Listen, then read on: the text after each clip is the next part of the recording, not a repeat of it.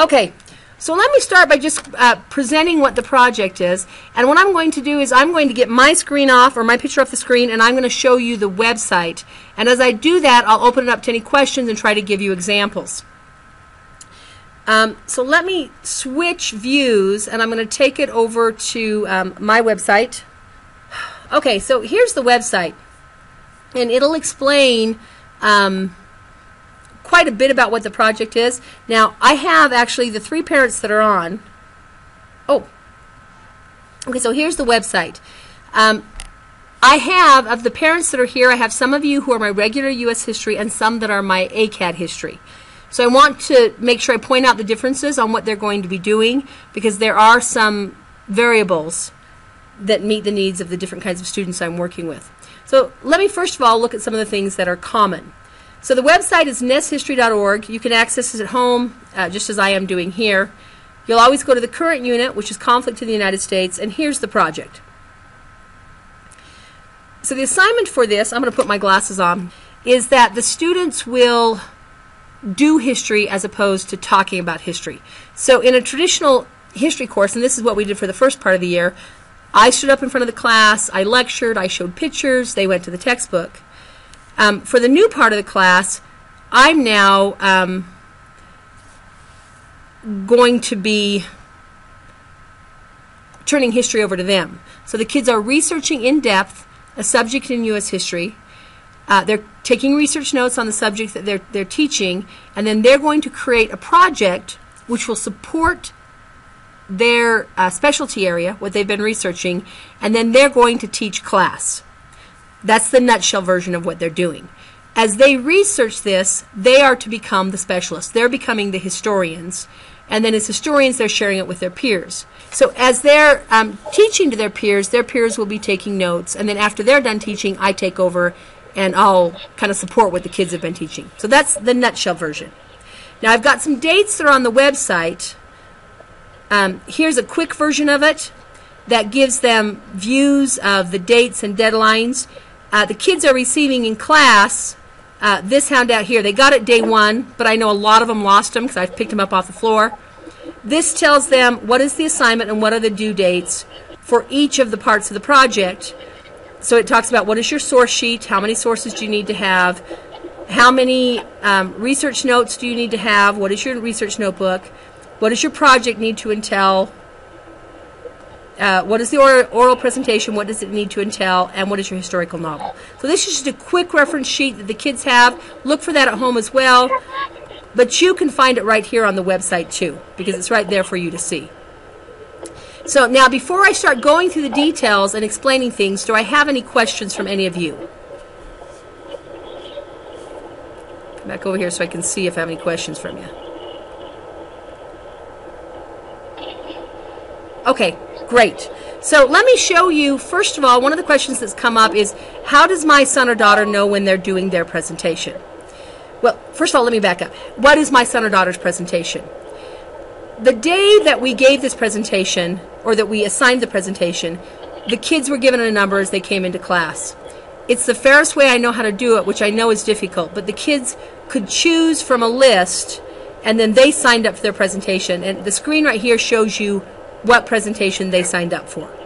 So you can see here by class who's doing what presentation.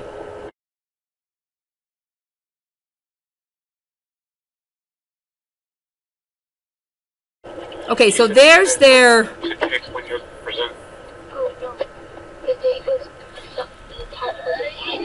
Okay, now here's someone there in the background. Do they have a question? Yeah, I can hear that as well. I'm looking at your text. Yeah, Jason, we're going to mute you for a few minutes. Don't take it personal. Hopefully, we can still hear you as we do that. So let me go back in here and mute you. Yeah, that's not the screen we want.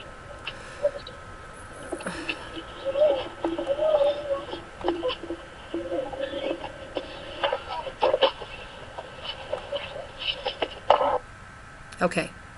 That'll help a little bit. Okay, let me go back to the screen. So now that the students have chosen what their presentation is going to be on, um, they then had to determine what the date was. So the way they determined the date uh, for their presentation, they came to the calendar, the class calendar, which is on the main page of the website. So here's the class calendar. Um, this has every lesson that we're doing until the end of the year. So you find what your child's presentation is, or your son or daughter's presentation, and then you look to see what the date is. So if they had presentation one, they're teaching on February 10th. If they had presentation 5 and 9, they have the 25th. You'll notice most days only have one presentation. Um, but there are a couple where we had to double up because we're just pressing to get so much done this year. Um, and this, if you look at the calendar, it just shows each of the numbers when they're presenting. So that's how, um, when they'll be doing their presentation. It's based on the school calendar that you have here. Okay, um, let me go get out of the calendar, uh, go back to the conflict unit. So that's when they're doing their presentation and what their presentation is. Now, their presentation is going to consist of um, starting their research. So the first thing they did after they selected their subject is they had to create a research notebook and begin researching their topic um, in the library and on the internet and with films and with um, texts and and uh, magazines, all of the things that we're making available for him at, for them here and at home. So for that research notebook, and every one of the students have done this, um, they went in and they created a notebook that they shared in Google Docs with me. So I can access everyone's notebook right now. And I pulled up a couple just a couple of minutes ago, so I'd have these to show you. Um, so here's one. Here's a second one. No, no, that's a, a source sheet. So they put their subject at the top.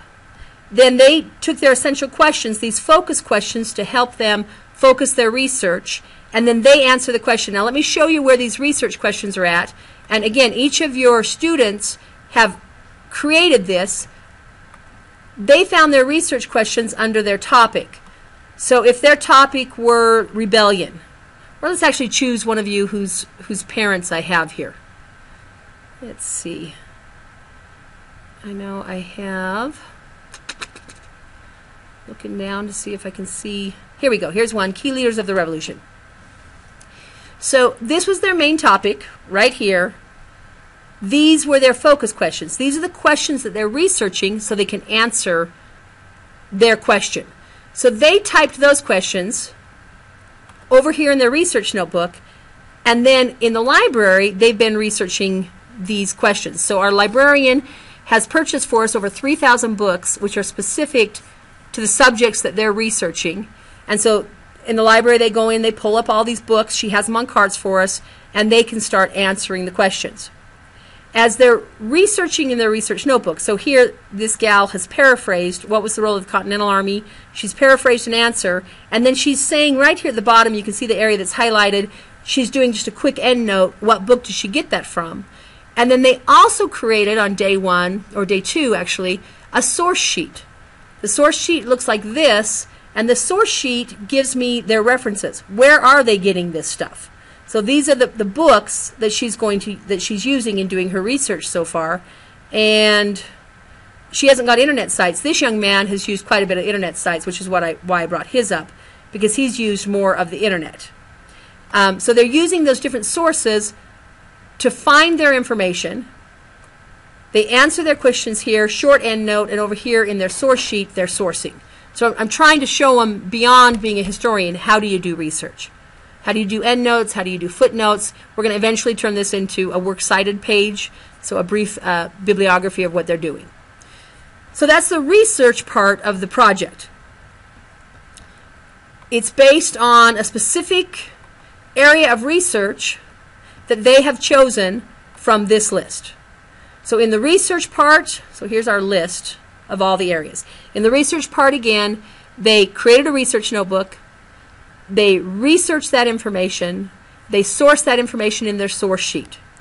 And if at any point they forget how much research they have, so their research inf- research notebook, let's come back over here to one of them, is to be 14 pages, typed, double spaced, which I know seems kind of like a big task, but if you look at this one in front of you here, you can see a lot of this is just questions. So here's her page one. If you look at that, the top is her main topic. Then she is Times New Roman 12 font, that's standard. Then there's the questions, here's her answers. Questions, answers, and because it's typed double spaced, you end up really with seven pages.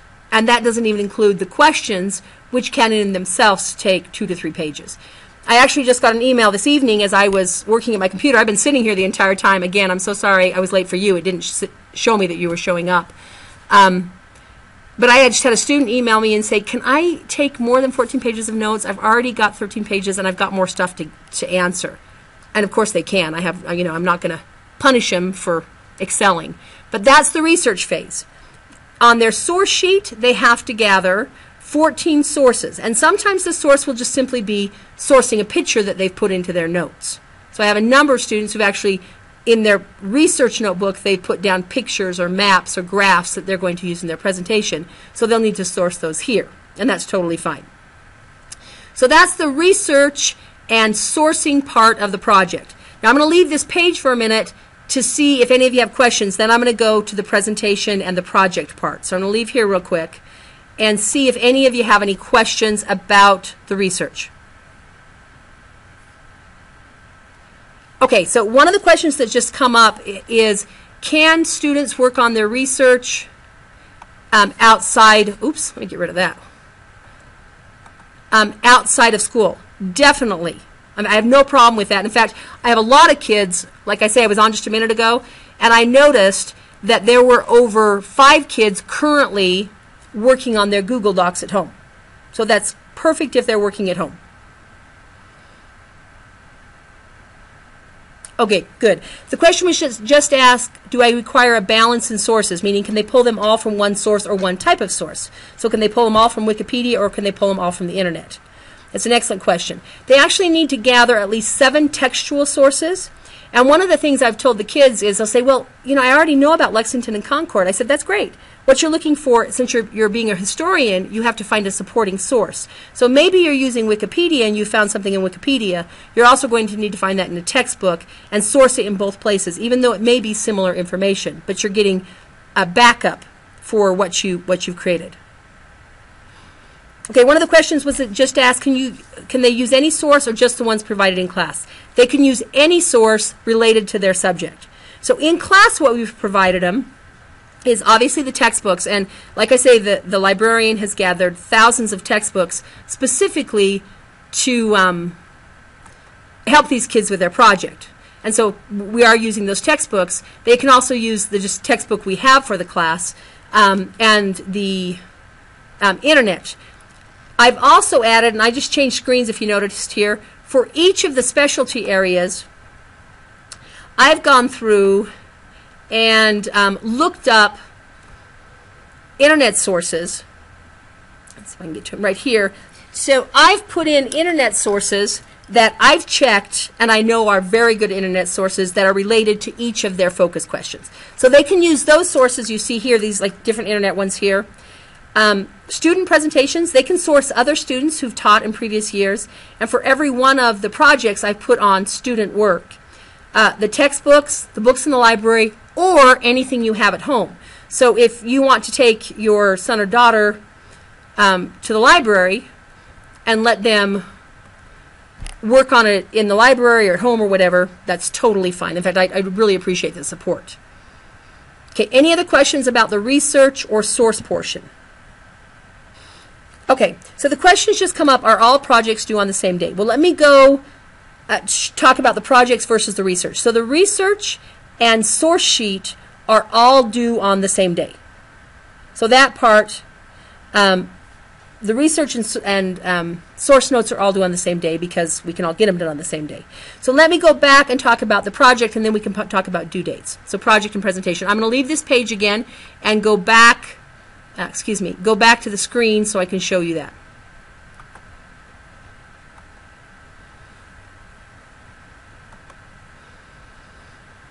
Okay, so let me go to the calendar. Let's go back one. Nope, that's going to be two. Okay, so the calendar that you see here um, shows that presentations are on different days. So, for example, the students who had specialty area 1 and 2, so 1 is um, conflict in the colonies prior to the Revolutionary War, and number two um, is, I believe, the French and Indian War. That's just going off the top of my head. Whoever has specialty area 1 and 2 will be presenting their information on the 10th, which means they are presenting in 15 days. Conversely, if that if someone had uh, something dealing with the Civil War, they won't be presenting until May 17th because that's when we're doing the Civil War. Which makes it kind of tough because that means, and, and I recognize this is tough, some kids are presenting they, they had from the moment it was presented to them. So this was presented on um, the first day of this term. So that was January 13th. So they have from January 13th to February 10th to do their research and write their project, whereas I recognize other students have four months to do their presentation and write their project. Let me explain why, and then we can kind of discuss some of the conflict that might arise from that. The reason I'm doing it that way is when the students present, so in the, the regular ed classes, the students will present a 20 minute presentation on their subject. In the course of that presentation, they will share a project they've created to support their subject. Then after, in the regular ed classes, after they've taught, I will teach a 50 minute or 55 minute lecture or do some kind of supportive activity that will support what they've taught. So if the student's doing uh, the French and Indian War after they're done, um, I'm going to do a lecture on the French and Indian War. And while the student is teaching, um, students are taking notes from their work. In my ACAD classes, the students will be um, teaching for 40 to 50 minutes. So in the regular ed, it's 20 to 30. So minimum 20, maximum 30. In the regular, it's for, or in the ACAD, it's 40 to 50 minutes. So they have a longer period of time. The reason they're spread out this way is you simply can't all do them. If, if the presentation is going to have any meaning, any depth, any meat to it, it has to be a long enough presentation to share what they've learned. And you can't all do that on the last month of school. So they're spread out so that we can teach history consecutively, like this happened, then this happened, then this happened, and at the same time, they can teach, but then I can add material they're missing. So it's spread out that way. I'm aware they have shorter periods. Now, I will say this with one or two exceptions, most of the kids who are going first were the kids that were here first, and they chose to go first because they wanted to be done with it. Because those kids who are going in May, they may have more time, but it's also when all of their big projects are coming in from science and math and foreign language, and that's when they have their music festivals. So these kids who are going at the first have the advantage of being done first. They don't have to worry about it. They can not have to have this on their plate with everything else going on. So let me go to questions and talk about any feelings you have about that, if we can work that out. And then let me talk about what the presentation and project entails and give you some examples. So I'm going to leave this page again, go back to where I can see you to see if you have any questions. I'm going to minimize this here. Okay, so do, do we have any questions on that?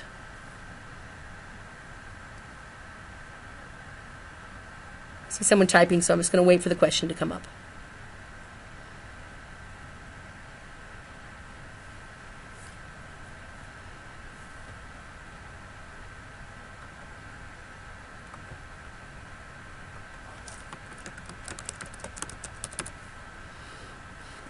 Okay, one of the parents has said they, they understand the rationale. It just seems unfair to them that some people have less time. I, I actually get that, and I know that's a struggle. It is really the only way to get all of them in.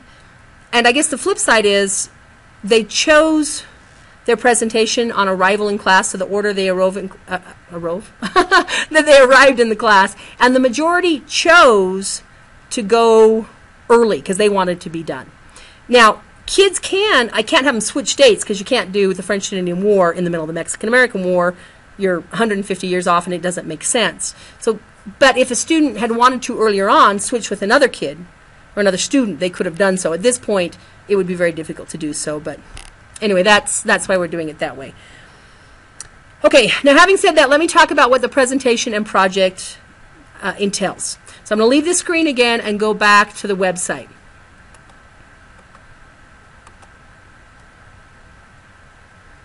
Maybe.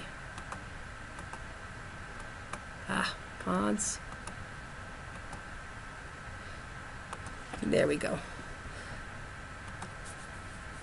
Okay, so the presentation, again, time-wise, for the regular ed students will be a 20 minimum to 30 minute maximum presentation. In the ACAD class, it's a 40 minute to 50 minute presentation. And in fact, I generally find like students are always like, oh, there's no way I'll be able to talk that long. But having done this now for 10 years, I often have to clip them off and say, okay, guys, you only have five minutes. Because these kids come to know this subject really, really well. In fact, I know some of your students, I've already talked to them in class, and they've already started, you know, becoming passionate about history. Um, one of your sons, I know, already has 15 pages of notes. So they, they know the subject really well, and they want to teach it. But, they, but I cap them at 20 minutes and then at the, the 50 minutes for the ACAD.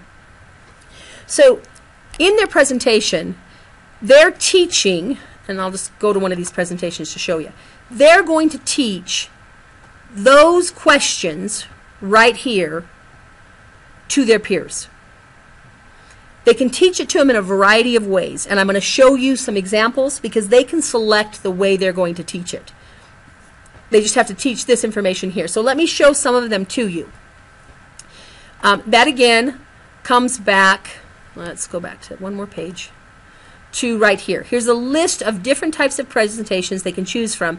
And in fact, if they wanted to come up with their own kind of list, they could do so. So I've put a website design, music video, timeline, and each of these, if you click on them, brings up a um, rubric for grading it. So if your child wanted to write a short story, this is the rubric for how I'll grade a short story. If um, your son or daughter wanted to make a timeline, this is the rubric for how we will grade or evaluate a timeline. If your son or daughter wanted to make uh, create a website, this is the rubric for how I will grade the, the, the website. If they had some other format that they wanted to come up with, all they need to do is talk with me. Typically, I find we can change one of the um, um, rubrics to match any other kind. So now let me show you some of the presentations that have been done in the past um, because I think it will help you get a feel for what they might look like. So I, I will, as the kids are teaching, I will take some of the very best presentations. I record them, and that's why at the very first of the year, when you guys did, uh, when, when the parents signed the disclosure document, I asked you, are you okay if I publish your student's work? And again, before I publish anything your son or daughter has done, I will send another message out to you just to make sure that you're comfortable with that. But I have published previous year's works on each of the specialty area. So this specialty area one, which is conflict in the colonies prior to the Revolutionary War, has a couple of examples of student work that can kind of show us exam- uh, examples of what they could do. Here's a website that a student created on the French and Indian War. So this student had that subject. They made the website.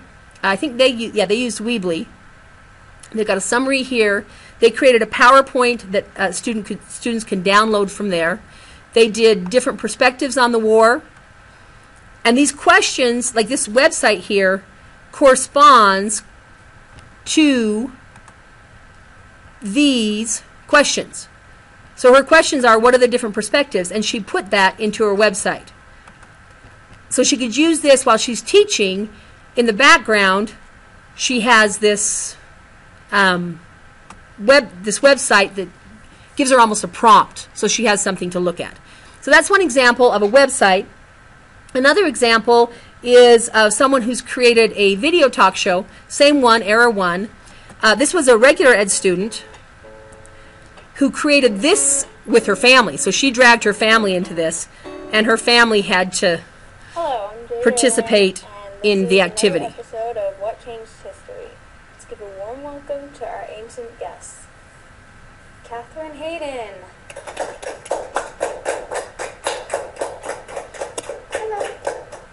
Queen of England.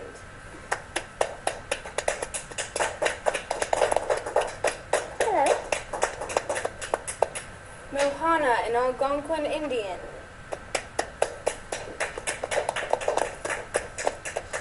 That is a nice mom. I don't know that I'd do that for my son or daughter's presentation.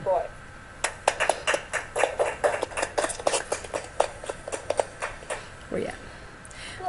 Okay, so there's one example of a talk show, and if your son or daughter is one that's going to be really uncomfortable standing up in front of their peers, this is something they can create in advance and then show that, and we watch that. Um, another example is something they could create in advance um, that doesn't require them to stand up in front of their peers for a long period of time is a, a storybook. And if memory serves me right, I have an example of that in ERA 2. So let me look here.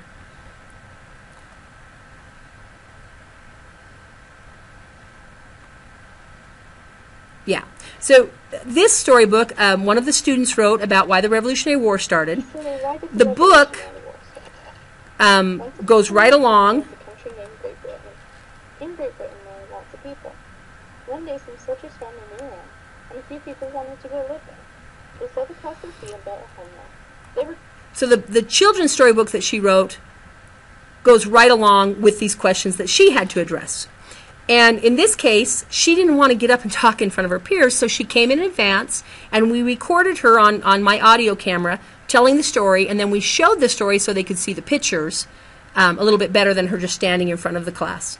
So that's another option for somebody who may not feel really comfortable um, just standing up in front of their peers without any kind of prompts. Um, so that's a storybook. I've showed you a website. Uh, I showed you a video talk show. Oh, oh, another thing that a lot of kids like because they like participating in in them is a readers theater. And this is one that was created, I think, last year. And this student wrote the readers theater and then had her peers participate in it. So she asked them in advance if they would be willing to come in and do this play. So she wrote this play right here, and the kids came in and did the play. So it was a lot of fun. They just kind of each took parts and did it in front of the class. They didn't dress up or anything, but that's a reader's theater. And that's an example of something you could do without having to stand up and, you know, really show off to other people. Uh, you can make a game. So on ERA, almost every one of these have games in them. Oh, I've got a message here. Let me let me get to that question real quick. So the question was asked: Did it take the full 20 minutes to do the readers' theater? No, it didn't. In this case, that readers' theater took maybe 10 minutes, 15 minutes, and then that last 10 or 15 minutes, in that case, she got up and answered her questions. The storybook that the, the young lady wrote, it took the majority of her 20 minutes, so that she didn't have to add any additional time. So you c- could choose a project that the presentation of your project, like doing the movie or um, writing a storybook or writing a reader's theater, takes the entire 20 minutes. Or what most of my students have chosen to do is to do a project that they can present in 10 minutes and then stand up and present the rest of their information in 10 minutes or put the rest of the information on a, a web slide or um, a web page or make a newspaper. And you could print a newspaper and bring it into each of the students and say okay here's a newspaper from 1860 that addresses the focus questions. So you can mix and match things for those students who may be uncomfortable standing up in, in front of their peers so i'm going to see if i have any more questions coming up. Oh great. Thank you kindreds. That's good to know who you are.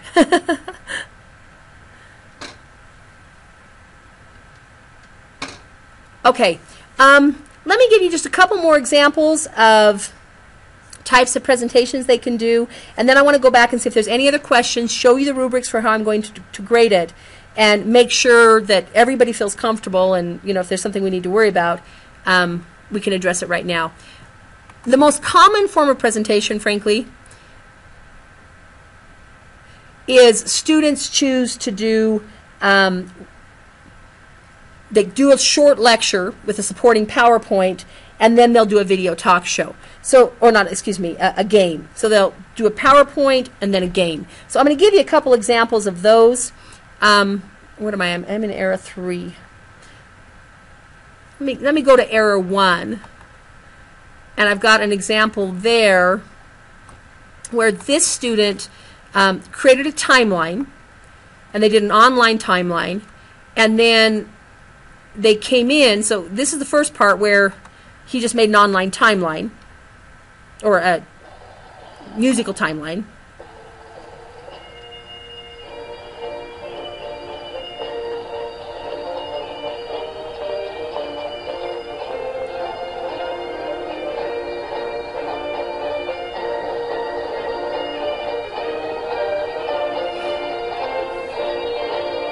And then he used that to come in and, and actually teach the class. So this is of him coming in and he stood up in front of this and used it to kind of guide his lecture. So a lot of that kind of thing happens. A lot of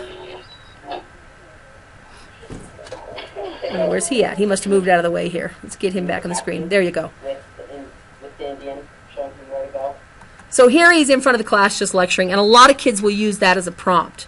Um, games are totally fine and appropriate. A lot of kids have done those. They can make, um, I think, on one of the westward movement activities in here, and again, there's so many different ones, I can't show them all to you. There's probably 40 different presentations here for kids to see.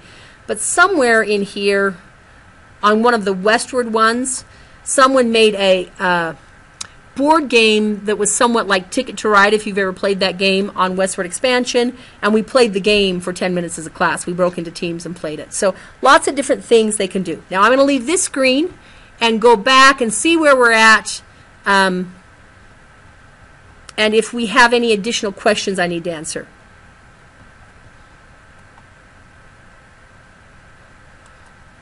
Okay, so do I have any additional questions? See some typing coming up.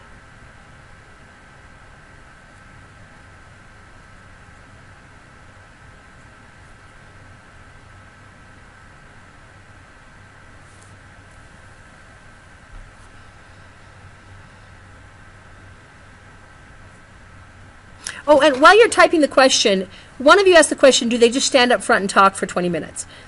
Students can use notes. They can't just read notes, but they can have note prompts. And another thing that helps a lot of the kids is making a PowerPoint that has notes so they can kind of glance back and forth there to help them. Okay, another question is do they have to use technology? No, they don't have to. So, like my kids, um, one of the presentations I didn't show is a game that some kids made where they had a big piece of cardstock and behind it they put tissue, you know, like wrapping paper tissue, and you punch through the card and once you punch through the little hole, there was a little card that came out and they played a game with the class that way. Can my son do a game show in class? Yeah, that sounds a lot of fun. Teach the content and then do a game show with it would be totally appropriate. Oh, okay. One of the questions is Do I have a way you can see how it's going to be graded? I do. If you go back to the website, I'm sorry, I wish there were a better way for me not to have to go back and forth for you guys. I know that's a pain. There are rubrics for each piece of um, the, the project. So here is the rubric for the research notebook and source sheet. And in fact, the ACAD kids have copies of, like hard copies of this in their blue book. The regular ed students haven't received copies of these rubrics yet because they didn't want the blue book yet. They wanted to wait. They just thought it would be more stuff to hold on to. But here's a copy of the research notebook um, and the source sheet rubric. So it says how each piece will be graded, what mastery is, what, you know, what, what do I need for their sources, how many they need, etc. So that's the uh, research notebook.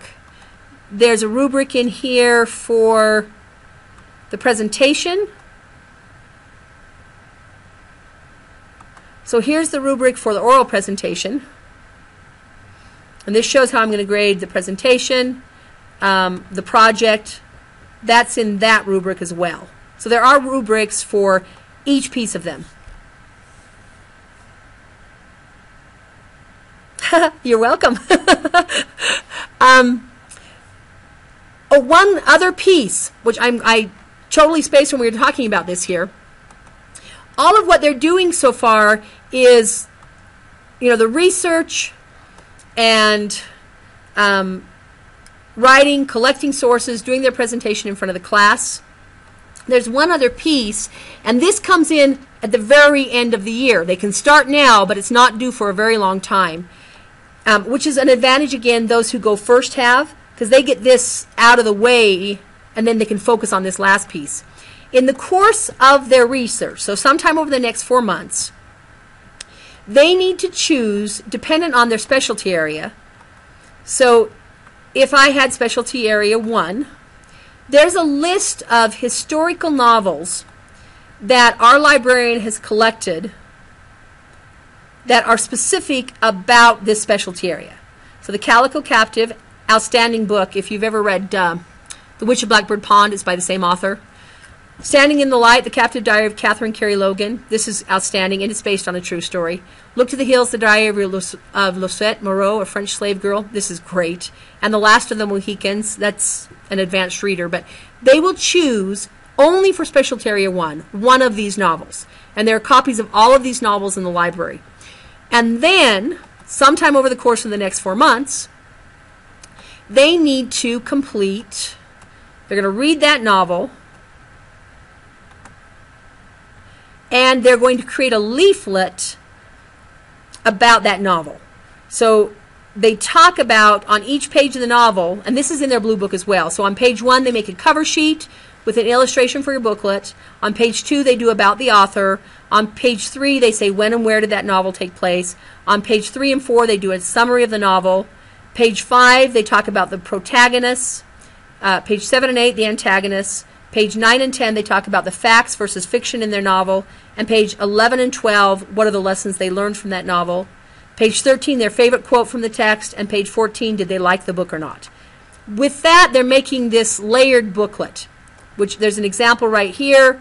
It tells them how to make them right here. And there's a video showing him how to make it right here. We, uh, they, the kids have all signed a contract saying yes, they read this, they understand what they're doing. But the truth is, I spent very little time on this right now because this isn't due until um, May 19th. So that's way far out there. But for those kids who do their presentations in uh, next month in February, they can go ahead and and uh, present that, or once they get done with their, their presentation, they can start working on this novel. Okay, I think that's it. I think we've addressed everything. Let me go back, leave this page, and see if there are any questions um, about the novel or any other piece that maybe we didn't do as much. And then, as we have people pull off, if I have anybody who would like to stay on for a little bit, I'm happy to stay on and answer any additional questions that you might have individually that I can just delete from the the um, vodcast we make of this to share with other people because some things you don't really want to share with anyone else. I see a couple of you typing. I'll see if any questions come up.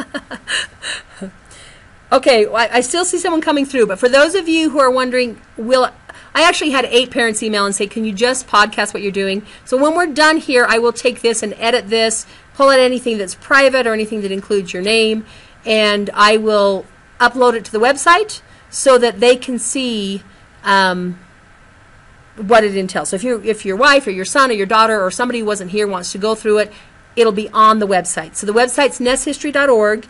Go to the current unit, and in the current unit, I'll post this. Give me a day or two to go in and edit it, but I'll have it in before the weekend. So if I need to stay in tomorrow night, I'll put it in before I leave for the weekend.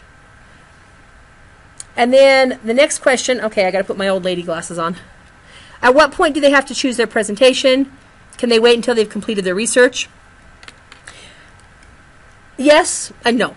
Meaning, when they were given their presentation, they completed a contract, and I actually might be easier for me to show you the contract, which means I got to go out of this silly page again. Um, and they shared it with me and with themselves, so they have a copy of this as well. But it's not a binding contract.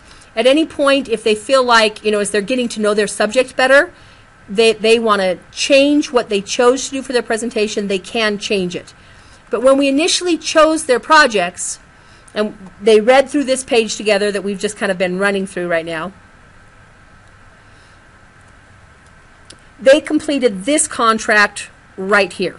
And I have these from every student but one in my class. So they typed it out. They said, This is my name, this is my email address. So they got a copy of this as well. The email went to them. Um, this is the date or this is my specialty area that I selected from that list. Here's my main uh, subject that I'm researching. They went to the calendar and said, when is it due? And the hard copy, like their PowerPoint or movie or their game or their diorama, is due the date before their presentation, just so we can make sure everything works. Um, they typed that in there. And then they typed in the date of their presentation, and then they selected some form. There's a drop down menu. And um, a lot of the kids at the time said, Well, I think I want to do a storytelling, but I don't know. Or I want to do a puppet show, but I'm not sure. Or I want to make a trifold poster, I'm not sure.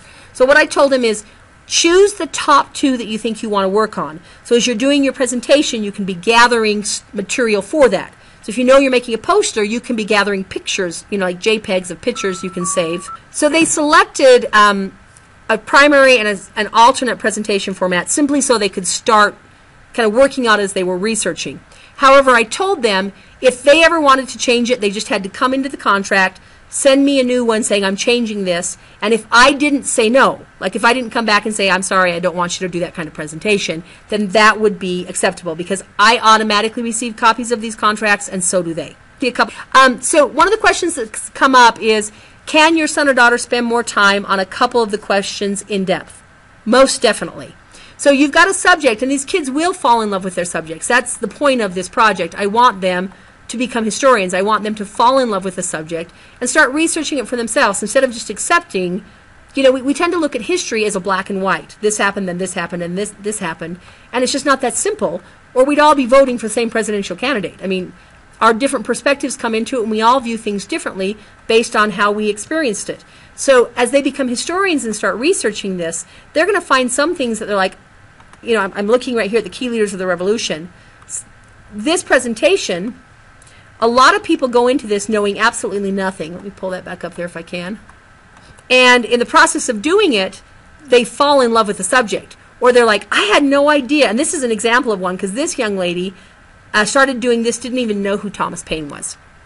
Well, the, by the time she was done, she had, I mean, she'd gathered 25 pages on the guy. She just fell in love with him, found him so intriguing that she went really in depth there. She answered the rest of her questions, but she went really in depth there. And that's great. That's exactly what I want your son or daughter to do. I want them to fall in love with history.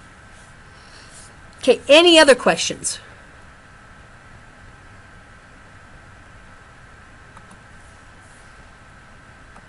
Okay, if we don't have any other questions, I'm going to go ahead and um, and wrap up here, but I'm going to stay online for any questions you have. So I'm going to enable all your mics, and if you have any questions, I'll just go ahead and answer any questions that you individually have. Because I, I want to be whatever help I can to your son or daughter. And you're welcome to send me emails anytime during this process. So um, thanks for coming. I will podcast this, clear it up, get it so that you can all access it. But if you have any other questions, I'm here to help you.